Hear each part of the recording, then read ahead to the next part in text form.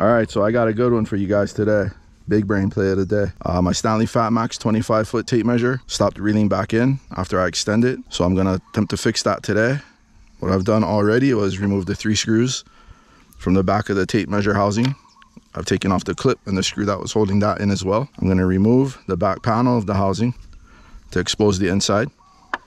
And we see the tape reel that the tape is actually mounted onto. I've also taken off the uh, brake here. So what you wanna do is, I've been messing with this for a little while. What I figured out is I needed to get a carpenter's pencil that I sharpened to have a square end on it. I've sharpened the other end to fit in my screw gun here. And this is what you need to do. You wanna leave this silver piece mounted in here. You don't wanna take that out. You just wanna extend a little bit of tape. Hold that in place. You want to take the square end of your carpenter's pencil, stick it into this square hole on the tape reel. You wanna put your screw gun in reverse so it spins counterclockwise. And you wanna lift up on the white tape reel just enough to get it to release there's a square nub on the other side of the tape housing that's holding that in place. Lift it up just enough so you're able to spin your screw gun counterclockwise. And you want to turn this for a while. You want to turn this for a good while and build up tension on that spring.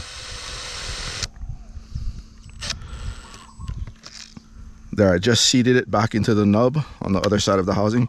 I'm gonna pull it up again just to get a few more turns.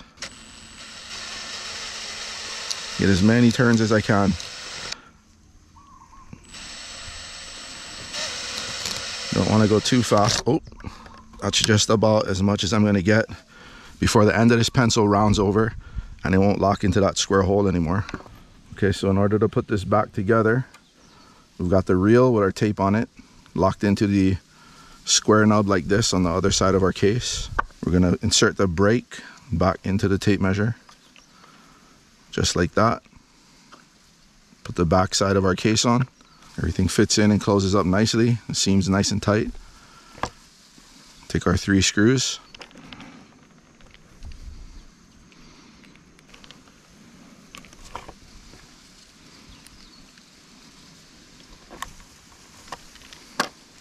And that's it. How to retension your tape on a Stanley FatMax 25 footer. Big brain place. Okay, my tape needed a major adjustment. If you wanted to add just a little bit of tension, you could always do this. Pop your back of your case off carefully. Make sure you're holding down your white reel at all times. Take your brake out. Now you just want to finagle this silver uh, piece here out of the where it's locked in.